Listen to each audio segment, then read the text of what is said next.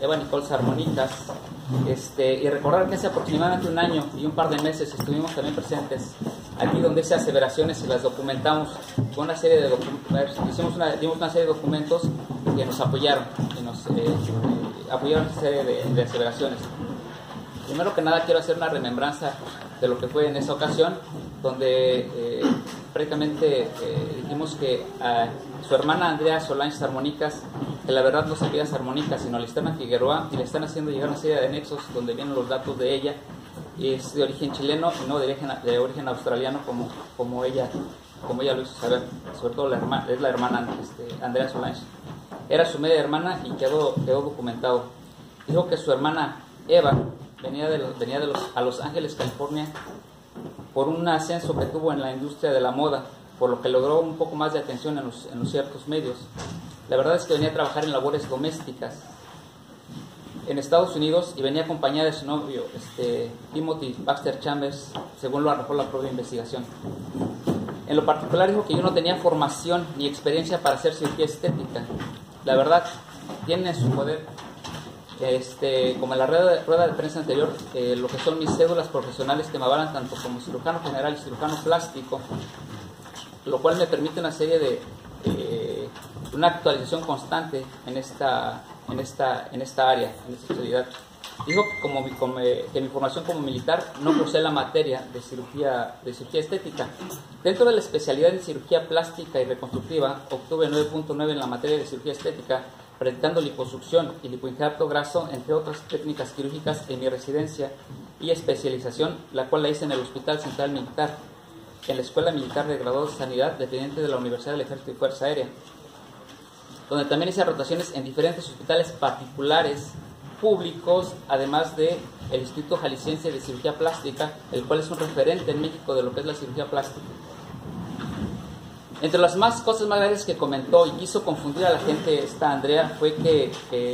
fue la difamación y, les hizo pensar que la cirugía plástica era, era diferente, la cirugía plástica estética y la cirugía plástica reconstructiva, no siendo así, sino que es, un solo, es, es una sola especialidad. Además que yo no cuento con la maestría en cirugía, en cirugía, perdón, en cirugía estética, en lo cual no, ni yo ni ningún cirujano plástico contamos con dicha maestría. Esta maestría fue inventada en la ciudad de Veracruz por parte de una serie de médicos que ya han sido expuestos incluso en la revista Proceso como un pseudocártel, un pseudocártel de cirujanos, pseudocirujanos plásticos.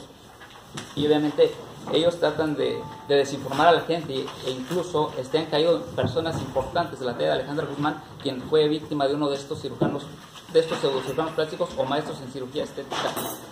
Nosotros los cirujanos plásticos jamás daremos entrada a quienes con su maestría invaden nuestra profesión, a pesar de que hasta la Suprema Corte de Justicia de la Nación ya prohibió por escrito la labor de, de estos personajes. En conclusión, les hago llegar este, unos nuevos documentos que se entregan el día de hoy,